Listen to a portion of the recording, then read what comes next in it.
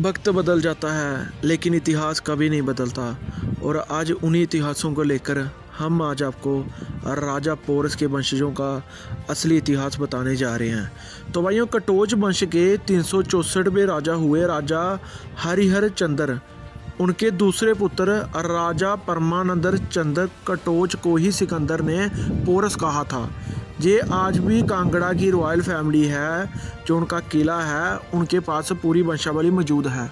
और Kangra royal family से आप सभी को हम बताना चाहते हैं कि सिर्फ़ कांगड़ा में ही राज नहीं था। कांगड़ा से आगे जाओगे पंजाब की तरफ़, उन्ना बढ़ता, उन्ना में जसवान रियासत जसवाल राजपूतों की थी। उसके आगे दत्तरपुर। जो होशियारपुर में बढ़ता है, जो डरवार राजपूतों की। तो भाइयों, राजा परमानंद चंद कटोच का जो राज्य था, वो चंद्रभागा और जेलम के मध्य क्षेत्र में था। उनकी राजधानी दरबाबी सार थी, जो कि आज जराल राजपूतों की रियासत के रजौरी में है। इनके बड़े भाई प्रवर्तक चंद्र का राज्य चंद्रभागा और जमुना के मध्य का क्षेत्र था। और राजधानी थी जालंधर कांगड़ा। तीसरा छोटा पुत्र था, उसका नाम था वीर चंद्र। उसकी जो राजधानी थी वो सिंधु नदी और जेलम के मध्य थी, जिसकी राजधानी मुल्तान थी। और मुल्तान को पाकिस्तान की ऑफिशियल वेबसाइट में कटोचगढ़ महल भी बोला गया है, क्योंकि कटोचों की ये विरासत थी। तो ये जो विरासतें रही हैं, पहले कोई इतने राजा नहीं होते थे। बाद में राजाओं के जो बच्चे थे अलग अलग जगह राज करने लगे। पहले ये जो राज था, ये कांगड़ा भी बीच में आता था। कांगड़ा के आगे ही पंजाब शुरू हो जाता है। कांगड़ा और पहले पंजाब में ही था। फिर कांगड़ा से होशियारपुर है, फिर उसके आगे जलंधर है, फिर उसके आगे मुल्तान है, फिर ऐसे ही ये पाकिस्तान पंजाब का एरिया जहाँ तक पूरा इनका कटोचों का राज हुआ करता था।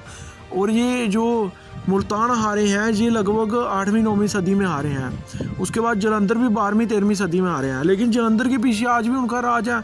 वहाँ पर कटोचों की जो शाखा डड़वाल हैं, जसवाल हैं गुलेरिए हैं, ये आज भी बड़ी वादी में इन इलाकों में बसे हुए हैं, जो बेल्ट जो हिमाचल से शुरू होकर पंजाब तक जाती है। आगे पोरस के दो पुत्र थे, जिनका नाम था अमर चंद्र और इसके अलावा हरिचंद्र, जो कि सिकंदर के युद्ध में बलिदान हुए थे। शायद ही किसी इतिहास चोरों को पता हो कि पोरस के दोनों पुत्रों का नाम क्या था।